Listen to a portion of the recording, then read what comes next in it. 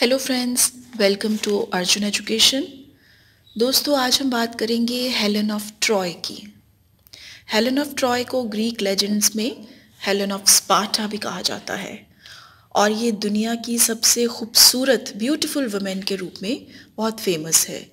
और ये directly Trojan war की वजह भी बनी। वो किंग ऑफ़ गॉड्स जियस की डॉटर थी। जियस स्वॉन के रूप में एक हंस के रूप में लिडा के पास आया और उनकी यूनियन से हेलन का जन्म हुआ।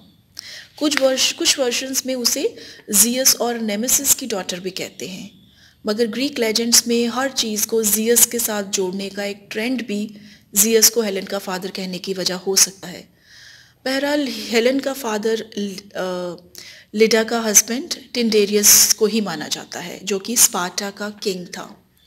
हेलन ट्राइक्लाइटमनेस्ट्रा की सिस्टर थी, जो कि एगा मेमनान की वाइफ थी।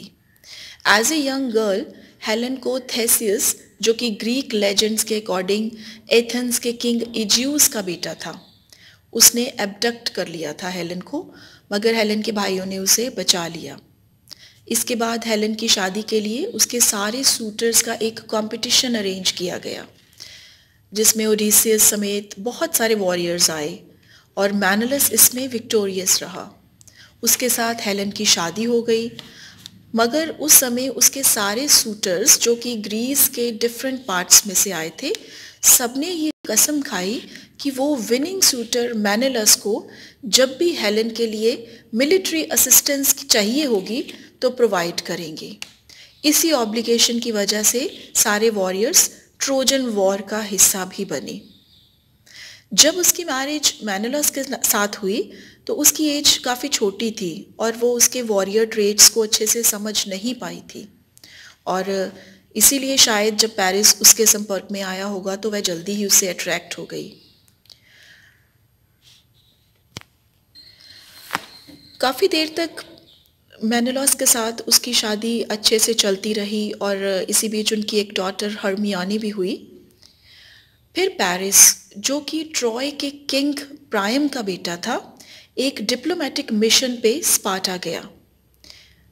इस जर्नी से पहले जियस ने पेरिस को मोस्ट ब्यूटीफुल गॉडेस चुनने के लिए अपॉइंट किया था, जिसमें से लाइक हेरा एथना और एफ्रोडाइट जो थी वो कंटेस्टेंट्स थी। उसका फेवर और अर्न करने के लिए एफ्रोडाइट ने उसको वादा किया कि वो अगर उसे मोस्ट ब्यूटीफुल गॉडेस चुन लेता है तो वो उसकी दुनिया की सबसे खूबसूरत विमेन के साथ शादी करवा देगी।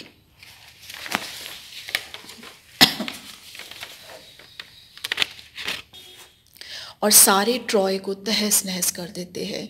सारे वॉरियर्स को मार दिया जाता है और शहर को आग लगा दी जाती है। होमर अपने एपिक में हेलन को एक रिग्रेटफुल वुमेन के रूप में प्रेजेंट करता है, जिसको अपने किए पे पछतावा है और ऐसा भी उसने दिखाया है कि ट्रोजन उसे नफ़रत करने लगते हैं, क्योंकि उसी की वजह से उनका सारा शहर तबाह हो गया। वॉर में पेरिस के मरने के बाद उसकी शादी डिफॉबस, जो कि पेरिस का ब्रदर था, उसके साथ कर दी जाती है। एस्किलस के प्ले एगामेमनॉन में भी हेलन को आ, उसमें हेलन और मैनलॉस को वापस जाते हुए दिखा दिया जाता है मगर उनका शिप रास्ते में लॉस्ट हो जाता है जिसका अंत तक कुछ पता नहीं चलता। ओडेसी में उसे मैनलस के साथ हैप्पीली रीयूनाइटेड प्रेजेंट किया जाता है। और एक और वर्जन में मैनलॉस के वॉर में मरने के बाद हेलन रॉड्स आइलैंड पे उसको भेज दिया जाता है, जहाँ पे उसे रॉड्स की क्वीन पॉलिक्सो अपने हस्बैंड टेलेप्टोमस की ट्रॉय में डेथ की वजह से हैंग करवा देती है। लेकोनिया में हेलन को एक डीटी के रूप में डीटी ऑफ़ सेलर्स के रूप में एक देवी का दर्जा मिला हुआ है। रॉड्स में उसका एक मंदिर भी है और जहाँ पे हर साल एक फेस्टिवल भी हेलन के ऑनर में अरेंज किया जाता है। तो दोस्तों, आपको हमारा ये वीडियो कैसा लगा, हमें ज़रूर बताइए। हमारे इस चैनल को सब्सक्राइब कीजिए और इस वीडियो को शेयर ज़रूर कीजिए। Thank you